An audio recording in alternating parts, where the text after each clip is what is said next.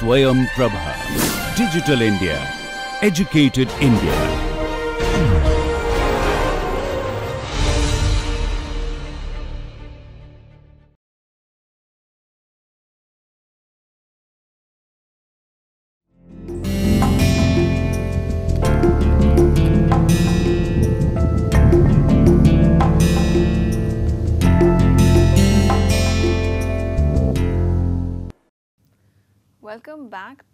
To the third lecture on this course on international relations. Uh, so far, what we've done in the first two lectures is to introduce you to the concept of international relations. In the first lecture, we looked at uh, the long history of the discipline starting from 1919. Uh, we've also looked at the various ways in which one can look at IR itself. So, there have been several theories uh, in the last hundred years which have emerged. And uh, today's class is the first class on theory where we are plunging straight into how to examine IR and uh, we are going to start with a theory called realism. Uh, the reason we're, why we are starting with this theory is because it has the oldest tradition, it has one of the oldest traditions in IR. Uh, it has a long consistent narrative within uh, international relations and that is the reason. Uh, realism is uh, quite frankly, like the name suggests, a realistic account of uh, the human civilization, the human, the question of humanity, and that relates to war and violence. Almost every epic, uh, whether it's Homer's Iliad, whether it is the Mahabharata, uh, all ancient epics and narratives and ballads try and answer the fundamental question of what is the relationship of violence and humankind, what is the place of violence in civilization, and how does one categorize, how does one theorize uh, violence? Is it a necessity? Can one do away with it? And if we look into our traditions within the South Asian subcontinent, we see that the Mahabharata is an epic which is persistently trying to answer that question of what is violence? Uh, is war a necessity? Uh, can one do away with war? And is suffering, is there a, a, price of suffering? Is there a necessity to suffer? So, the central questions, the central leitmotif, one could say, for realism is violence and war. And naturally, these questions emerge because of the brutality at the battlefield, in the battlefield, uh, the death of the ones we love and uh, the, the cost of war to civilization as a whole. So, in today's lecture, what I'm going to do is take you through history, uh, starting from uh, ancient, uh, the ancient Greek, Greek epics which deal with this question. Uh, then we'll come down to IR as a, a modern academic discipline and try and understand how theorists have tried to analyze uh, violence and war. So, before we set out on this journey, uh, the two questions that we are looking at, that we are circling upon, very much like vultures, are like uh, other issues of violence and war. And uh, we'll start with uh, Krishna, who in the Mahabharata uh, placates a very vexed, a very perplexed, a very worried uh, uh, Arjun when he asks about the the consequences of taking on his very own family in the battlefield, and Krishna assures him that a war is, necessi- is necessary and at times one has to do one, one what one has to do, irrespective of the ethical and the emotional uh, questions involved. So in many ways, this uh, distinction between ethics and what is necessity is at the core of realism that even though there is an admission that violence is horrific, uh, violence is barbaric, uh, violence is uncondonable, there is a place for it, there is a value for it, it is necessary in uh, the way we conduct our everyday lives. Now, interestingly enough, we see the echo of this very uh, idea in the Milesian dialogue. And this Milesian dialogue is a dialogue which is uh, recorded in the Peloponnesian War. uh, the war which took place between the Spartans and the Melians. And this war was recorded uh, quite assiduously by Thucydides. And uh, in this, the episode that we're looking at is when the Spartans, and we know that the Spartans were a very disciplined, uh, military uh, trained, uh, uh, athletically inclined group of people who defeat the Melians. The Melians are peace loving, they're, they are meek, they are kind, they're not oriented to war. And when they are subjugated, the Melians appeal to justice and they say that this is not fair. It is not fair for us to be conquered in this fashion. Uh, and this brutality is certainly not condonable. And it is here that the Spartans say what Krishna has just told Arjun. Uh, we mentioned that, uh, I mentioned it a few minutes ago, that justice is what, the, what uh, might dictates and questions of ethics cannot be interlaced into the question of politics. Now, both of these uh, uh, illustrations from epics, incidentally, um, illustrate as to how uh, ancient civilizations have dealt with the question of violence and they have dealt with it by dealing with it clinically, which is that they have separated it from the realm of politics. Ethics is separate from the realm of politics and one sees this down till when we look at uh, Morgenthau's classic text uh, published in 1948, Politics Amongst Nations. Now, before we proceed further, uh, both these examples also illustrate as to even before the emergence of the modern state system as we know it, groups, clans, tribes, uh, societies were warring with each other and essentially, this ethical concern was pushed aside by those who favored the language of the powerful. So, what one sees is that questions of justice, mercy, humanity are seen as questions as of those who are weak, who are meek.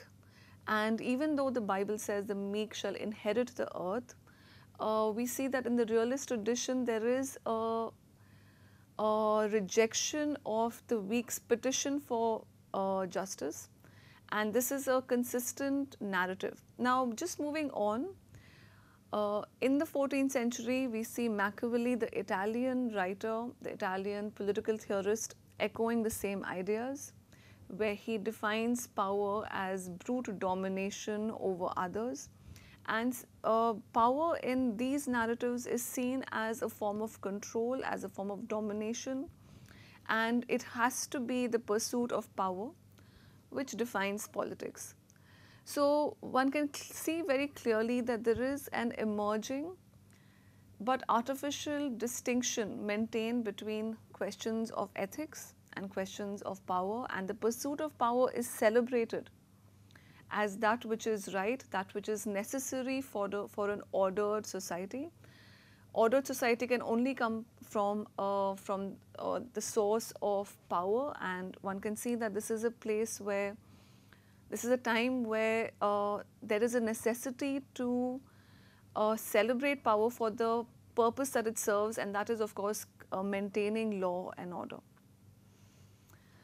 Now, uh, through the several centuries between the 14th and the 19th century, which is where we'll be dwelling upon mostly, uh, one finds that um, theorists throughout time have been looking at war and violence as necessary to the uh, continuation of uh, human existence or human civilization as we know it. Uh, there is the Chinese text Sun Tzu, The Art of War, which similarly places strategy the military, the army as necessities to a stable state. And one can see quite clearly why that was the case. This was a case, this was a time when uh, societies were trying to stabilize themselves and uh, it was obviously not possible without a brute, naked uh, force. And we see that similarly being echoed by Hobbes, Thomas Hobbes the 16th century English philosopher who argues that life is nasty, brutish and short and uh, the only way one can make uh, do with what we have is by uh, relegating, uh, giving our authority over to the state, and the state is this all-encompassing uh, Leviathan. And the Leviathan is a biblical monster. And it's very interesting that Hobbes portrays the state as a biblical monster emerging from the sea. And the reason is that the state is something which is not quite human, and therefore we cannot expect it to be humane. And on account of its natural brutality, its natural bestiality, uh, violence and war are endemic to states and uh, human nature. The argument here then is that humans, uh, the state and flowing from that, uh, the world that we inhabit is a world in which violence is endemic. And uh, I'd like to pause over here and look at this word endemic. We've looked at this word endogamous in the previous lecture, where we contrasted it with the word exogamous. And uh, realist theory, like several other theories, starts off by looking at what constitutes uh, international relations. Uh, we start off with the first image, and that is that of humans. And of course, I'm referring to uh, uh, conceptualization here. So the first image is uh, is at the human level. That's uh, that's us. The second image is that of the state, uh, and the third image is that of the structure. Now, these three categories, the uh, unit, the state and the system, are categories around which the subsequent theories will be aligning themselves. So, it's quite worthwhile to spend a few minutes just trying to understand what it means. Uh, the easiest way to do that is to ask the question, what is the source of violence? Where does violence come from? And Hobbes would say that man by nature is selfish. And over here, male theorists, his reference point is men, are men rather. And to him, it is men who are uh, brutal, who are nasty, who are violent. And if it is by nature, and by nature we mean something which is unchangeable, something which is uh, immutable. Of course, this is the 16th century. Uh, genetic modification did not exist at that time, and even then, uh, it is questionable whether uh, science can change the nature of our beings. So the fundamental question being, uh, which the fundamental point being made was that at the core of our hearts, uh, we are violent, greedy, narcissistic, uh, quite unpleasant and unkind people and therefore violence is endemic and therefore the word endemic will mean it is inherent in us uh, to be appropriative, to be exploitative and therefore a world without violence is unnatural and subsequently inconceivable and perhaps something not worthy to be pursued at all. Uh, so Hobbes has outlined uh, the idea that we by nature are violent and this is something this is an idea which has been toyed uh, fairly well by theoreticians, philosophers, poets throughout time. But now we come to the academization of international relations. What we've seen so far are people who are thinking about violence and war, but not as theoreticians of international relations.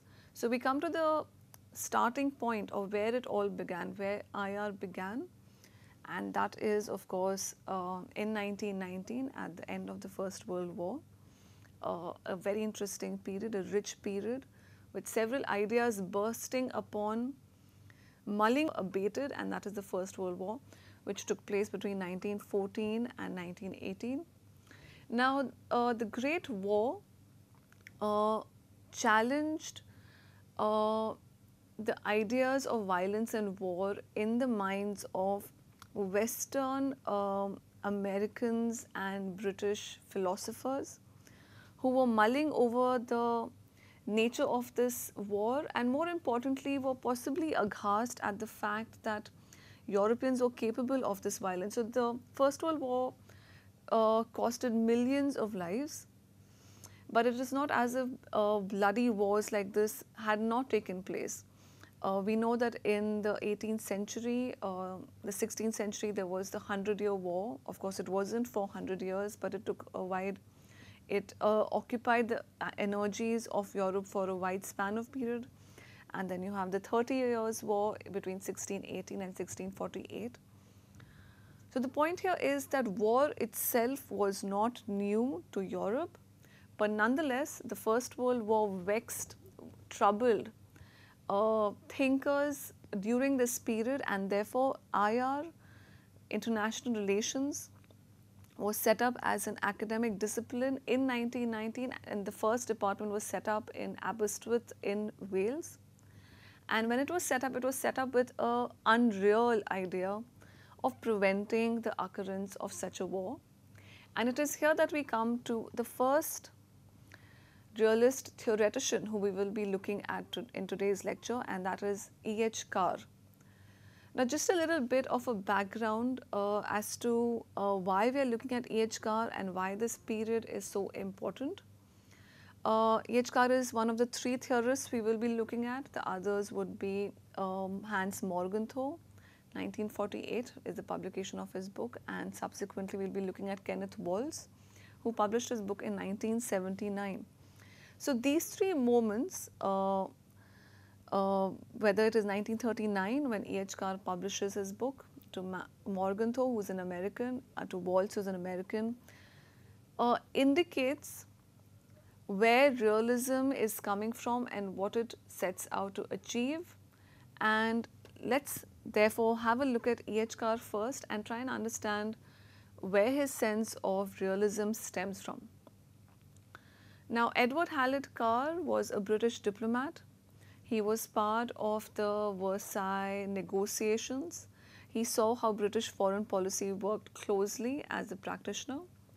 And in 1919, the Treaty of Versailles was signed. And uh, the Treaty of Versailles is important because the victor states, that is France, uh, Britain, and most importantly, America, uh, imposed upon Germany a set of conditions which involved not only demilitarization, uh, they uh, sent the king uh, Wilhelm II to exile to uh, the Netherlands, but most importantly, they imposed a peace upon uh, Germany, which involved Germany being a democracy, amongst other things. Now, 1919 was a year when peace was being celebrated after the many years of war. There was a moment of great, great peace. The victors were satisfied. Uh, they were looking for uh, justice and retributive justice from the violence unleashed by Germany and its allies. And it is here that E.H. Carr uh, writes his book, The 20 Year Crisis, which was published right at the eve of the Second World War, which started in 1939. So, what is E.H. Carr trying to say, um, and why is he saying what he is? Um, this is a moment of great peace. Uh, the 20 years between the two world wars was seen as a period of enforced peace. And it is here that Carr is raising several pertinent questions about the nature of peace and the nature of war. And the first question that E.H. Carr raises is, uh, is this really peace or is this an imposition? And the word imposition means something which is hoisted upon you, forced upon you. Has this force, has this peace been forced upon the losers of the war or is it a genuine peace? Now, that itself is a pertinent question, the nature of peace itself. Carr was trying to argue uh, very elegantly that when victors enforce peace, that isn't real peace at all because every loser, every, every state which loses in a war would rise up and try and defy that enforcement and that, that is what he calls revisionist state. So, a revisionist state is a state which is discontent with the impositions and limitations of its boundaries, its demilitarization, and such a state would very naturally challenge those, and there would again be a war between the revisionist states and those who don't quite see it the same way. Very succinctly, Carr outlined as to how moments of peace were essentially the evolution of war and that is precisely what happened in 1939 when the Second World War broke out. It was challenged, the order was challenged by those revisionist states who were discontent by the peace of the First World War and we know that those are the states of Germany, Italy and Japan, they were hostile, uh, ambitious and rightly so. Every sovereign state aspires to uh, extend its boundaries and certainly Germany, Japan and Italy were not unusual or not uh, different in that way. But Carr was reminding his readers and the world that peace is always an illusion and there can be no peace because violence is again endemic to the structure. Now, Carr's book is seen as one of the early classic uh, textbooks on realism. Uh, he was not a theoretician, uh, he was primarily a historian and of course we already know that he was a diplomat. So, his narrative his uh, perspective uh, dwells a lot upon history, but he is still, you wouldn't still quite call him a theoretician. Uh, and therefore, we come to the next uh, key uh, realist thinker we are looking at in today's class, and that is uh, Hans Morgenthau. And Hans Morgenthau writes his classic text, Politics Among Nations, in 1948. So let's just pause here for a moment and try and identify two major uh, currents within realist thought. The first is from the Mahabharata uh, to Thucydides to the Peloponnesian War to Sun Tzu, there is number one, an understanding that violence is an essential feature of human, human life, human civilization. That is the first uh, undercurrent of realism. And the second, of course, is that the only thing we can do is to regulate it. We can regulate violence, but we cannot uh, stamp it out the way we would stamp out a disease. In short, violence is a part of our lives and it is possibly, it is impossible to do away with it.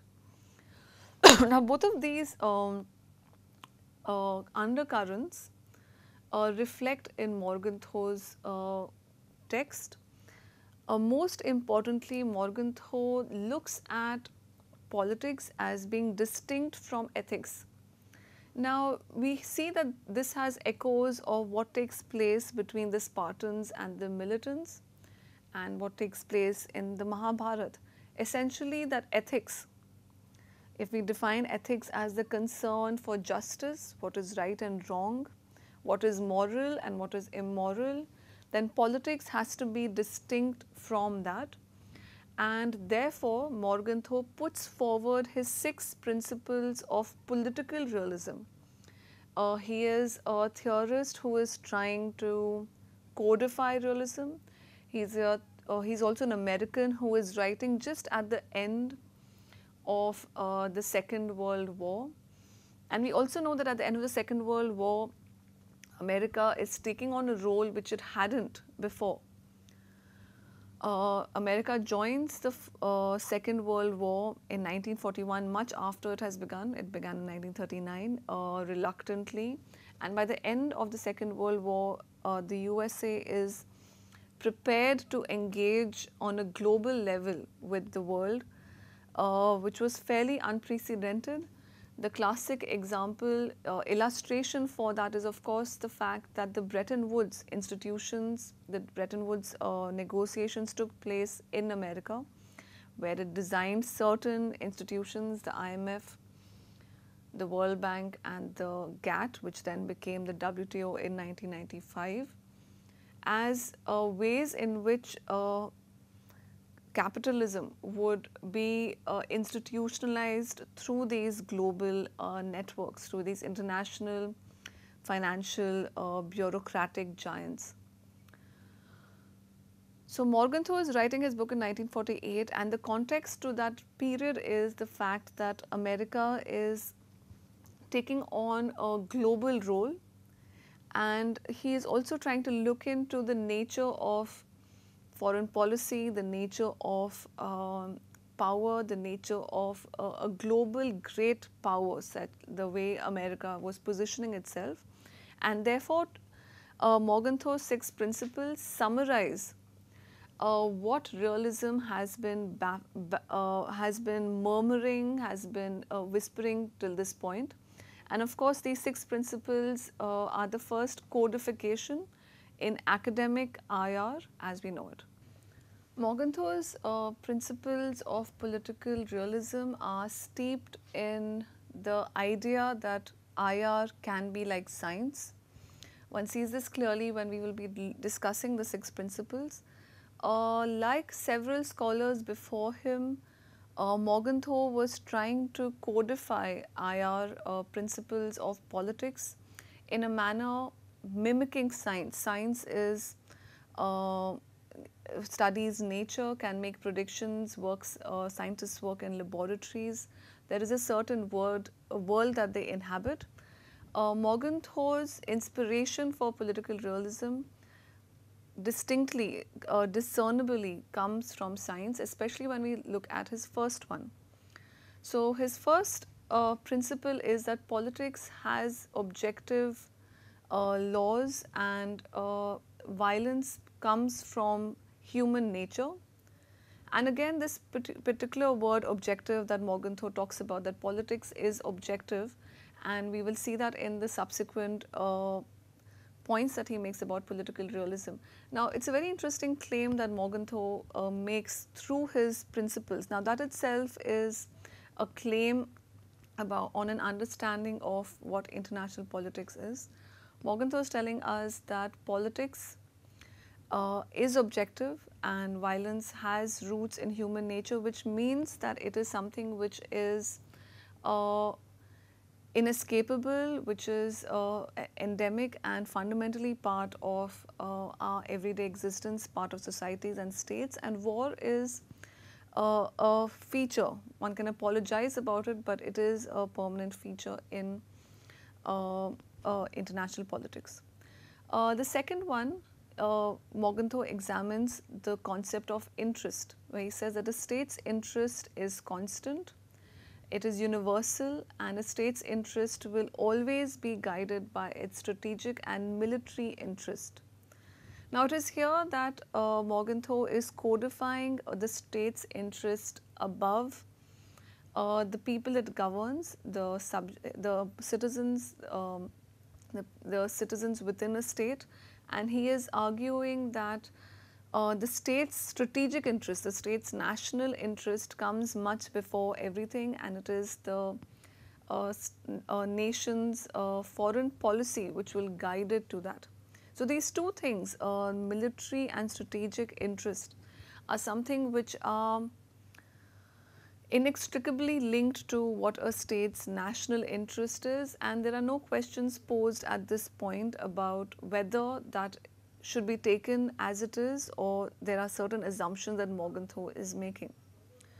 Uh, the third point that Morgenthau talks about is that ethics and politics occupy a very different uh, realm and there can be no question uh, of ethical concerns when it comes to national interest and national policy. And there again, we are reminded of uh, the question of the just war, that certain wars are undertaken in the name of justice and we can only think of the recent in this very uh, century, the war against terror uh, led by the American President George Bush in the name of justice, in the name of setting things right that certain uh, ethical concerns uh, can guide war. But over here, Morgenthau is telling us that politics and ethics do not naturally belong to each other and there can be uh, no confusion, there can be no fuzzy boundaries between the two. And even if a state upholds a certain moral order, it cannot be universal. So we come to the uh, third point where uh, Morgenthau tells us that uh, even though a, a particular state can uphold a certain moral order, that moral order cannot be universal. And in a sense, a state's internal intention of structuring peace cannot be uh, universalized. So, over here the term universalization means uh, applicable to all states uh, across time and the opposite of the word universal would be particular. So, over here Morgenthau outlines as to how even if a particular state has a certain ideal uh, to achieve, that in itself is a failed project because uh, there is no space for a state's moral conceptualizations in the world of international politics. Uh, therefore, we come to the fifth point where he tells us that uh, even though a state's interest, uh, particular interest may change across time, uh, a state's military and strategic interest will be constant, which means that every state must prioritize its national interest or else it will suffer certain uh, consequences of being attacked or being conquered. And therefore uh, it is the obligation of the state. A state must therefore be militaristic, uh, be strategic and there is no way, there is no alternative to that. And finally, we come to the sixth principle which argues that uh, morals cannot be universalized and uh, in effect Morgenthau makes three. If we look at these uh, six principles and we, if we would come to the core of it, the core of it would be that politics is a space which is autonomous from ethics and moral concern. So, what does this word autonomous mean? Uh, autonomous means separated, uh, something which can function independently and is not uh, either dependent or inclined toward another sphere. And the term autonomy over here also refers to the ability of Morgenthau to make this artificial divide between politics and ethics.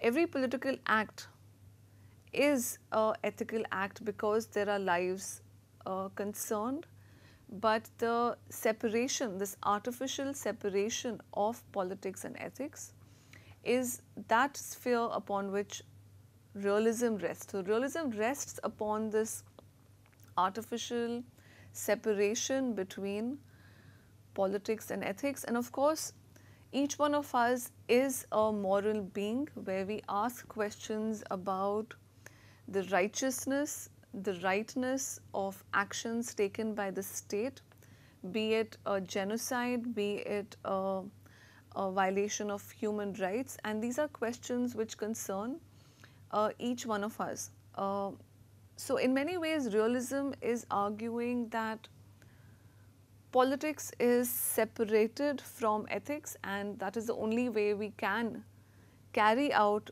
brute acts of violence by classifying it as a question of realpolitik that is politics is real and other questions are useful but need not come in the way in the exercise of the state's brutal might.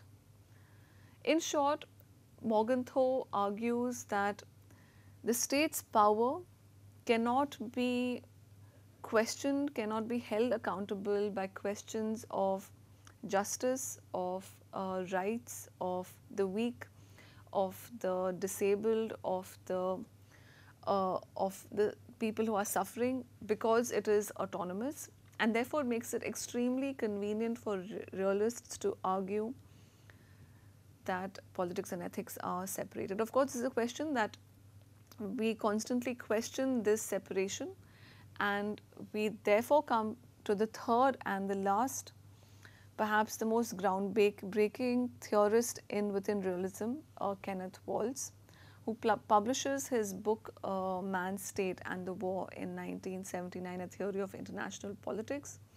But before that, uh, just a little bit about the context. Uh, as we've looked in the previous uh, lecture on theories of IR, when we look at a theory of IR, the theoretician is as important. His, his or her life, his, uh, the scope of her inquiry, the object of her inquiry is equally illuminating as much as the book itself. So, what a person is saying comes from a certain location, uh, experience, uh, a space and time and drawing our attention to that allows us to understand why or what that person is saying. Now Kenneth Waltz is also an American and unlike Morgenthau he is writing in the 1970s and he is trying to reclaim the space for realism.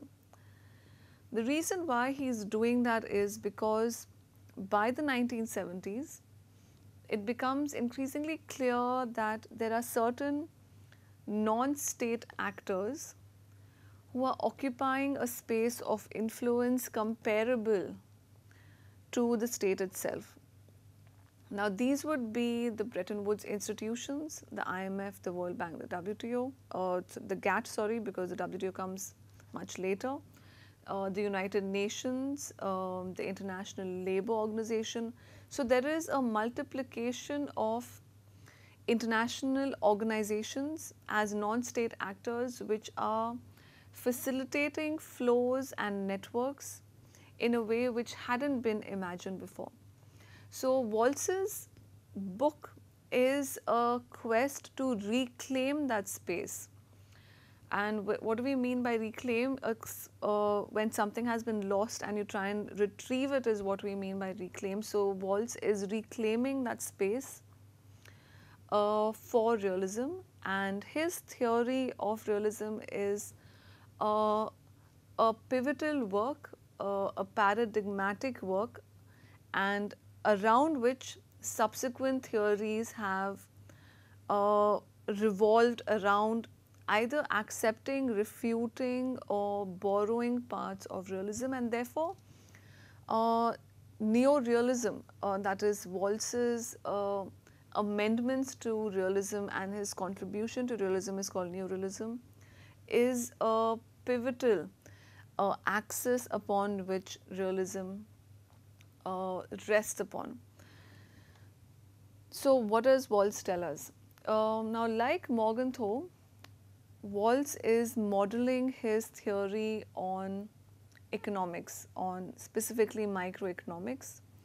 And if Morgenthau was inspired by science, uh, Waltz is inspired by the physiocrats in the 17th and 18th century who made an artificial boundary between political economy and other uh, pursuits of knowledge in order to study it. What does that mean? That means that Waltz uh, constructs a certain space within which he is going to build his theory and obviously that uh, space is artificially constructed but as Waltz tells us that the test of any theory is its explanatory value. How does one uh, evaluate a theory is whether it is explaining to us the reality that we seek to understand. And over here, his reality is the domain of international politics. So first things first, uh, Kenneth Waltz wields his scalpel and he demarcates a space within which he is going to evaluate or uh, explain uh, what international politics is. Having, having done that, he proceeds to talk about the three images. Now, the three images are Waltz's way of uh, dividing international politics into a certain space in order to understand and in order to put forward his theory. Now, it's very important to understand uh, why Waltz is doing this. Uh, Waltz uh, makes three compartments, uh, slices international politics into three images. The first being man, uh, the second being the state, that's the second level, and the third being the system or the structure.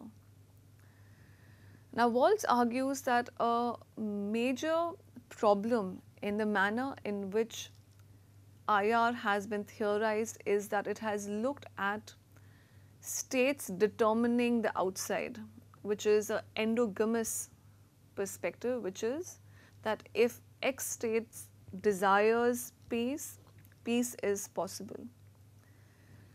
Kenneth Waltz calls this a reductionist argument and he dismisses it. He says that the world cannot be changed by the intentions, the zeal and the determination of one state.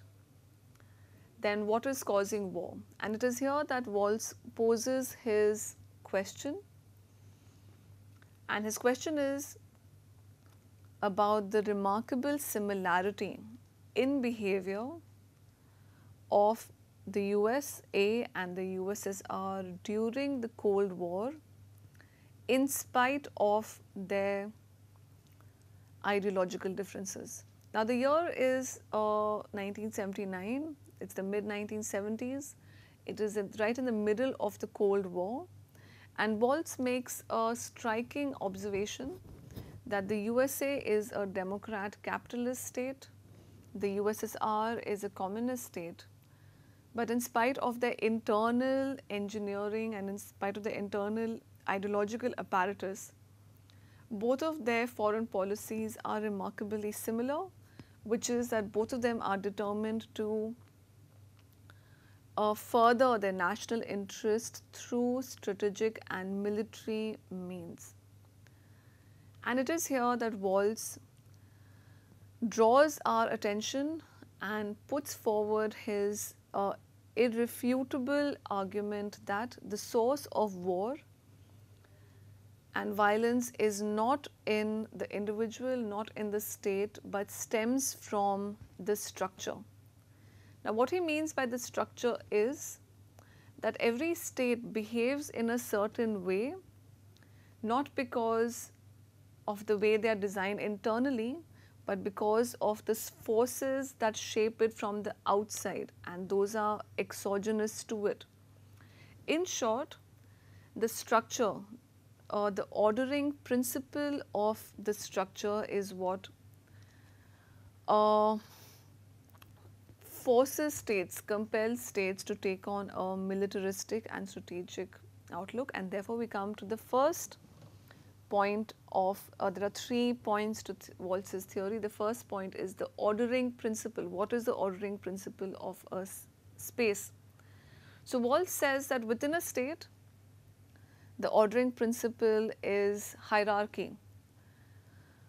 You jump a light, you get, uh, you're issued a notice, um, there is a certain law and order in place and you're subjected to it and that is what he calls hierarchy. There is a, a sovereign state and it exercises power over us. The ordering principle of the international system, however, is anarchy. And anarchy is the state where there is no higher being above the state. There is no world police, there is no world, uh, there is no authority higher than state. So, in effect, states are units and Waltz uses the word units for states that these units in the international structure uh, have to depend on themselves in order to survive and therefore survival is of foremost concern to these units. So, in short the ordering principle compels states to act in a certain way irrespective of whether they are democracies, whether they are dictatorships, uh, irrespective of how they are shaped internally, it is the structure.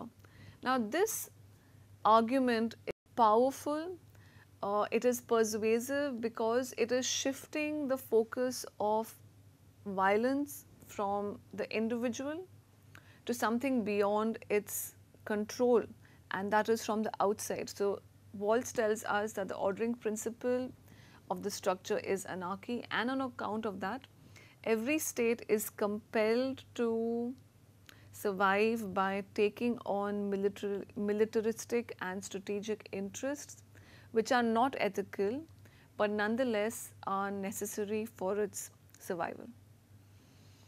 And therefore, we come to the second principle that all units are alike in that way, uh, irrespective of how they are shaped internally.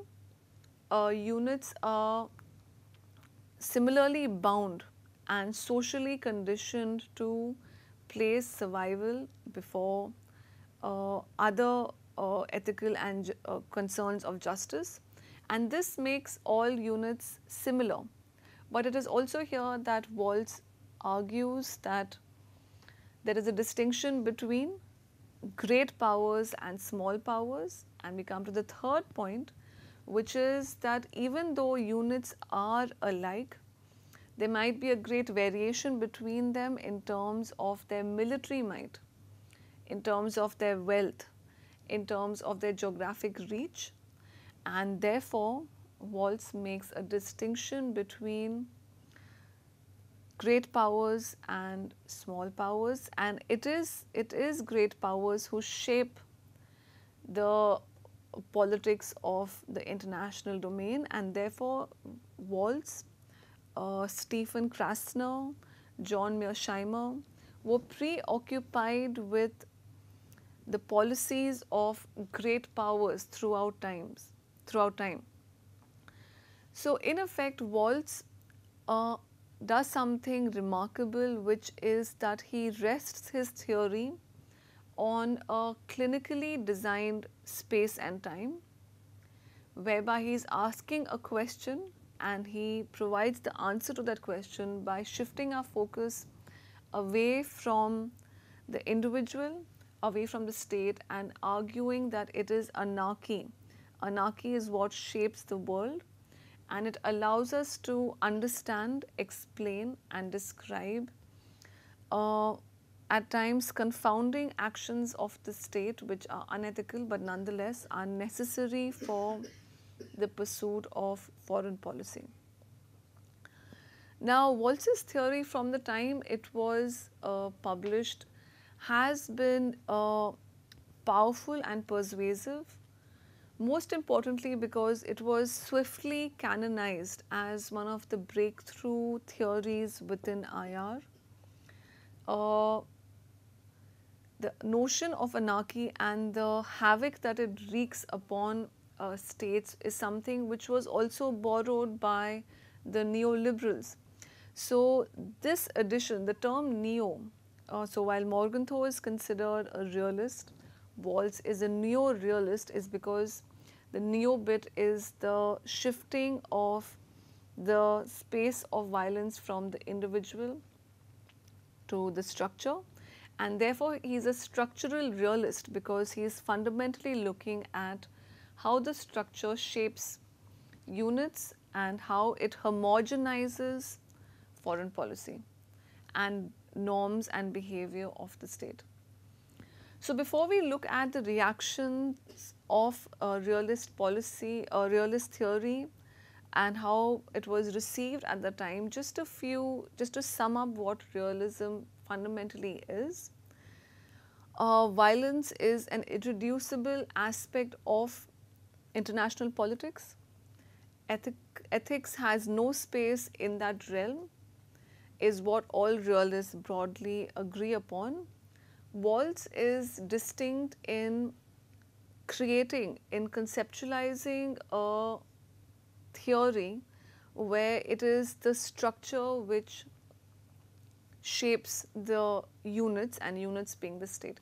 So, that this relationship between the structure and the unit is of tremendous importance when we look at the explanatory value of Waltz's theory. Again, Waltz would tell us that the strength of a theory lies in what it can explain what it can describe. And over here, it has been remarkably successful in uh, describing as to how all states uh, spend vast amounts of money in militarization at the cost of human life, the quality of human life, at the cost of poverty and social inequalities. It explains as to how the national interest is always prioritized ahead of other uh, internal politics. It also tells us that there is no force above the state and while the domestic order is that of hierarchy, outside is a space of anarchy where it is the might of the right and it is the great powers which define what politics is. So, Kenneth Waltz's text is of tremendous value on account of the simplicity, on account how parsimonious his theory is. It's an elegant book, but of course it has, uh, there are several assumptions that Waltz make and all of these were questioned in, uh, que in theories which critiqued and questioned neorealism itself.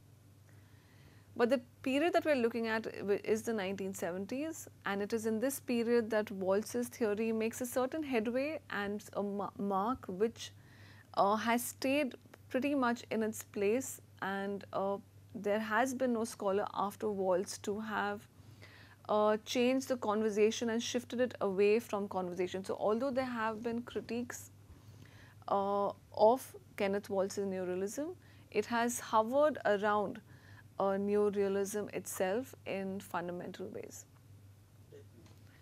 Right. So before wrapping up our class on uh, uh, realism and neorealism, uh, just a few concepts which one, which one must run through. Uh, Waltz's theory is a theory of power, where he's arguing that power is an inescapable part of the of international politics, but the most important aspect of his theory is that he's arguing that it comes from this structure. The ordering principle of this structure is anarchy, which compels states to uh, devote a large amount of their energy and resources on uh, militarization, on acquiring nuclear bombs, even though they may not afford it. So, just as an example, uh, the fact that India and Pakistan have uh, tested the nuclear bomb at enormous uh, financial cost points to the fact that the state's survival comes much ahead of its other uh, priorities within the state and it also leads us to the question of the security dilemma. Now the security dilemma is the dilemma where if a state increases its military possessions it thereby sets off a sense of anxiety and insecurity in its uh, fellow states. The fellow state would then proceed to similarly acquire uh, um, military weapons, strategic weapons of comparable uh, utility, thereby setting off an endless spiral of insecurity. So, the security dilemma is that dilemma whereby the acquisitions of weapons uh, from which stems from fear uh, and the anxiety of being attacked is endless and infinite. It also points to the nuclearization of uh, uh the world um, since 1948 when the first nuclear bomb, 1945 uh, since the first nuclear bomb was tested. So, the security dilemma points to uh, how the structure uh, compels states to behave in ways uh, which are violent, militaristic and strategic. Another distinction which we can make within realism is that between offensive and defensive realism. The period in which Waltz is writing is the Cold War and bipolarity which is the balance between uh, two superpowers, two great powers is uh, works for Waltz because it demonstrates as to how great powers balance the distribution of power and capabilities in the within the structure. But within that, Mearsheimer argues that we can also argue, but uh, make a distinction between offensive and defensive realists. Realism, uh, offensive realism would be where a great power tries to establish hegemony, which is that it tries to overtake every space uh, uh, within the world, within the structure, and is hegemonic uh, in stifling all forms of opposition. And that is an overreach, and that is also an example when an empire overreaches or steps over its boundaries, it is also bound to collapse.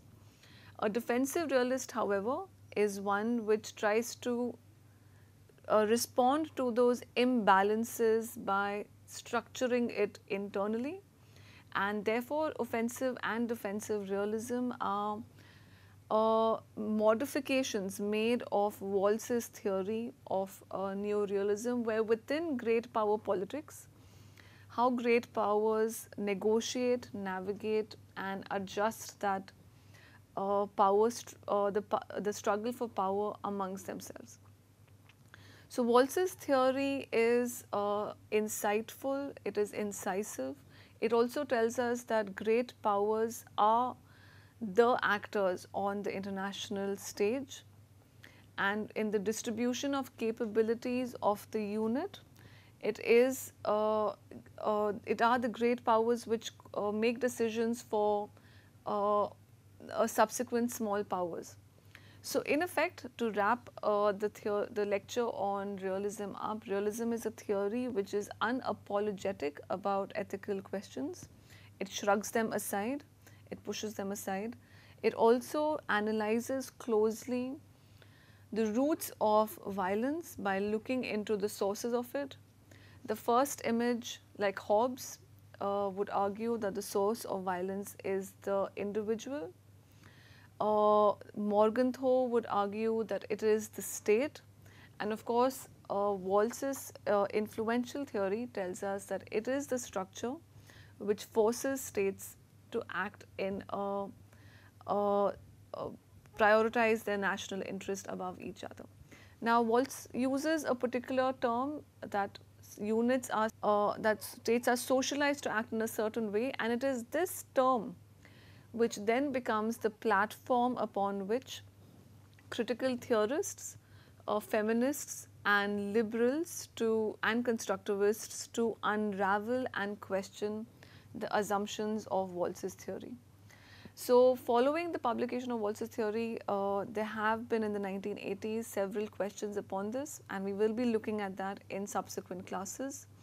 Uh, in the next class, we will be looking at uh, feminism, liberalism, Marxism and these uh, theories have questioned the manner in which realism has been positioned and have rival explanations for the manner in which international politics has been designed. So, I will see you in next class where we will be looking at another theory of international relations.